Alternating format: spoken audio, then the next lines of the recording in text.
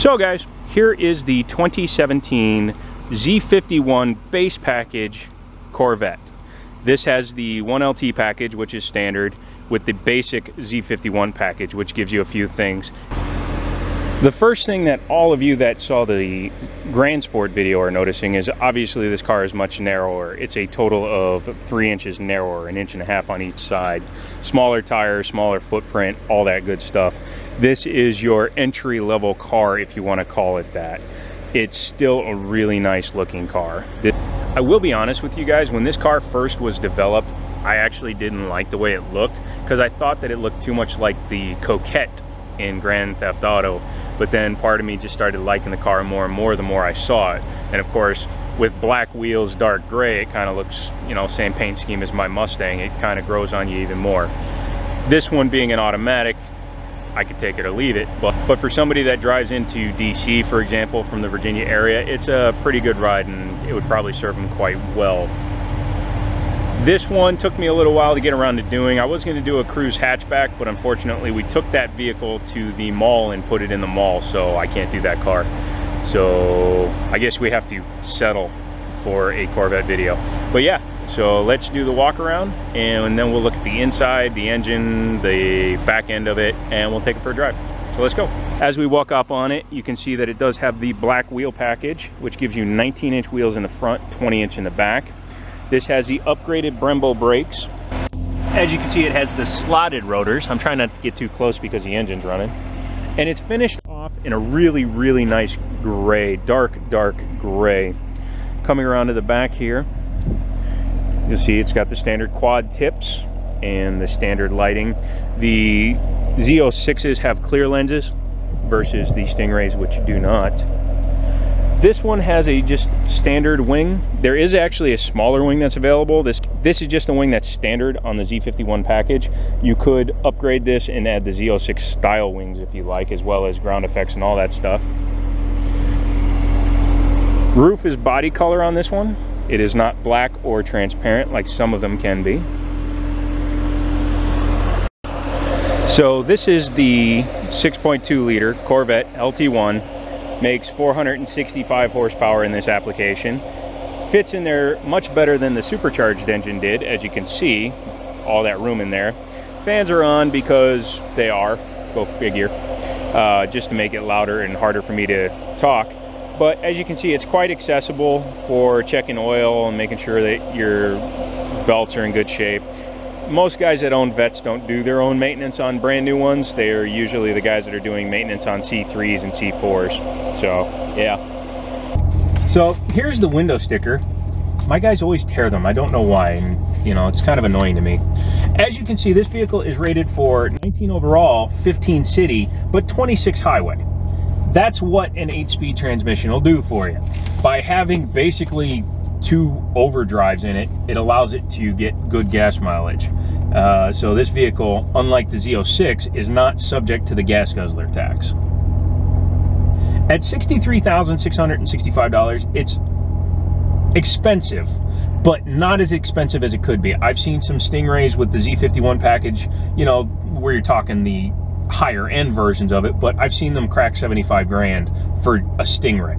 And luckily this one is way less than that. And of course there are a couple of small rebates. If you're a Corvette owner already, you can get a rebate of like two grand so then you're talking 61 and obviously we'll sell it a little bit cheaper so basically you could get like the transmission and the black wheels at no cost kind of a thing there's all, all kinds of ways to make a deal better i don't know what your dealerships in your areas are willing to do but i know what we would do this car has, again, just the two options packages, which was the 8-speed paddle shift transmission, which was $1,752. Uh, That's a weird number. And then $495 for the black wheels. It's not a bad price for the wheels because you get 1920s. I think the stock base wheels are 1919. Correct me if I'm wrong. I like the interior on this car, so I'm going to grab the camera now, swip it around, and we will take a look at it. So as I was saying, these are the GT bucket seats. So they're just your regular seats. They're not the upgraded option seats or anything like that. I like this color. I don't know why. It really works with the darker color of the car. These seats are pretty nice. The touchscreen here, you have all your standard stuff, Apple CarPlay, Android Auto, projection, as long as you connect a USB cable to that, you can then uh, display whatever you want here in the center console, which again, I mean, that's kind of darn small, but you do have a big honking uh, drive shaft tunnel running underneath here. But you have room for a cell phone, a wallet, whatever you need to. Couple of cup holders, which are very important in American cars apparently. Take note Lexus. Power port. And then of course you have your drive mode selector, which is, you know, track mode, sport mode, touring mode, eco mode. That's how you get the best gas mileage, obviously. And then weather. So traction control button, you can turn that off. The center console, excuse me, the center um, display can show you different things like this one shows you your what the limited slip differential is doing just leave it with just a tachometer which is kind of pretty much where I would always leave it your G meter G display, 0 to 60 timer, lap timer, oil temperature, oil pressure, battery voltage, trans fluid temp. You can see that I really didn't do anything to heat it up at all. Uh, horsepower, show you how much power you're using at any individual individual time. But again, I would just leave it like that personally. Uh, speedo on that side where it should be out of the way for when you're driving the vehicle you have your fuel gauge as well as your temp gauge there. Again, flat bottom wheel gives you just that little bit extra room. If it was completely round, it could potentially interfere a little bit, I guess. One thing that's pretty cool is on the Vettes, of course, your passenger climate control, because of the way that this is designed to be more driver centric, you can't really just kind of get a good position on it when you're in the passenger side. So the passenger has its own controls over there. Looking into the back, not a whole lot. Looks like the front plate bracket sitting back there, some floor mats and a couple of other things. Because it is a hatchback, it does give you enough room to carry bags and groceries, things like that. So technically you could use this vehicle as an everyday car. So yeah, let's go for a drive, see what you guys think. Okay then, let's do it. All right, so now we're on the drive. Sorry if you're kind of tilted at an angle. I'm doing the best I can with the uh, windshield mount that I have that isn't working anymore. I got to repair it. But this car has the regular base seats. It does have the ceramic gray. Is that what this is called? Ceramic gray? Let's see, interior, interior, interior. Just says GT Buckets leather. Where the hell's the color of it?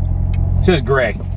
They're gray, but I think it's like a ceramics color. But I, I like it. It really works with the darker gray of the outside of the car. Now, you can put the shifter in manual mode and then it will hold the gear until you shift. Or if you're doing some manual shifting yourself while the car's in drive, then it kind of indicates that it's in manual mode. But if you want to hold a gear, you have to actually physically pull the shifter down into M. The one downside I have with paddle shift automatics and paddle shifted cars in general is it just feels like a dang video game. You know, is that a bad thing? Not really, but it could lead to some overzealous driving. And these shifters don't sound very good. I mean, you heard that when I shifted, right?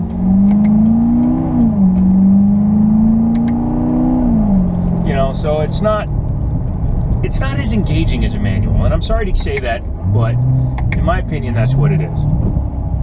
Here goes an acceleration for you.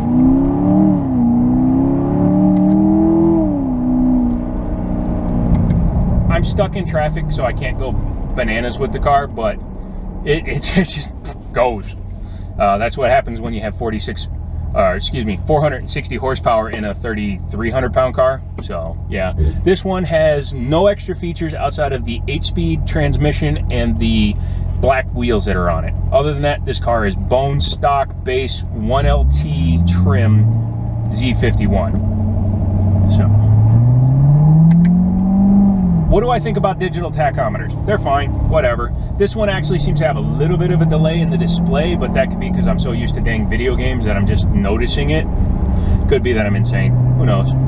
Legroom is a lot better than I was expecting. I'm not like tucked up underneath the dashboard, but I'm also not braced up against it while I'm in a comfortable seating position, so I like that. Suspension, I gotta say it rides really nice. It's not terribly different from my Mustang, to be honest with you, since I lowered the suspension in that. Handling, of course, it's a friggin' Corvette. I point it, it goes. Engine note, I really do like it. Uh, it sounds really loud, really nice. Because this has the Z51 package on it, it does have the bimodal exhaust or the multi-mode exhaust on it. So that's why it's louder under full acceleration and when you're in sport mode than it would be in under normal regular driving modes. Fit and finish inside the car, pretty good. I'm not complaining about anything. It feels nice. The materials still feel a little plasticky like on top of the center console, but again, this is a base model Stingray Z51. I'm sorry, I have a trouble saying that uh, it's a base model when you're talking about 60 some thousand dollar vehicle. It's the entry level Z51. So I don't recall if there's a better material for the upmarket Z51s because I've not spent any time in them. But controls are right here, kind of the Chevy standard controls. So it's not hard to work the car. You obviously have your speedo on the left side. You have your voice controls and center screen on the right side. The screen for the radio, this being a 2017, it has the nicer setup. I never spend a whole lot of time with the old Q system or the old touchscreen system, mainly because at that time I was working for Ford and we had our wonderful Sync MyTouch. But I really kind of like this setup. I do like that this one has physical knobs for the climate controls. I kind of like that little incremental controls, even though it displays what you're doing on the screen. I just like having that to use. Don't know why, it's just a little thing for me. Flat bottom steering wheel gives you that little bit of extra room for your legs. But again, at 6'4", you can see I've actually got fair headroom in here.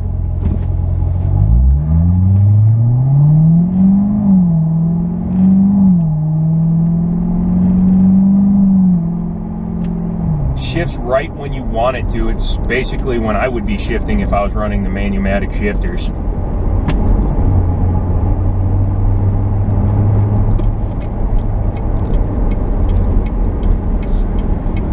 This does have the upgraded brakes. I haven't driven a car with the standard brakes yet, but these upgraded brakes feel really nice in this car. Not the quietest car when you're on the road, but I can live with that. That's not a huge bother to me.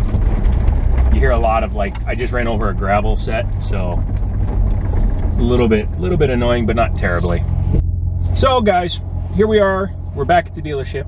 I want to thank Manassas Chevrolet for letting me use the car, especially since, you know, they didn't have to. They could have said, no, you're not allowed to drive it. But they did let me take this one out.